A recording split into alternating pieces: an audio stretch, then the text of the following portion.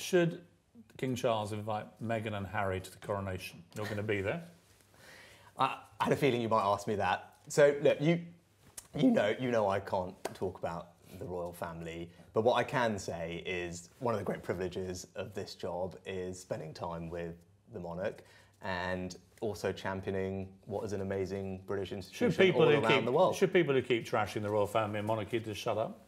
Look, I, I said it's one of the proudest parts of my job is to go around the world and champion and celebrate British institutions like the royal family. Australians have just taken all the royals off their stamps. Yeah, but you know what? There's an enormous amount of affection for the royal family everywhere I go around the world, and they do an incredible job. King Charles does an incredible job. We're, we're lucky to have him. The coronation is going to be superb, and we're going to have a great time. And you don't mind if you're next to Meghan and Harry? I, again, what I'm focused on to make sure we have a great time as a country.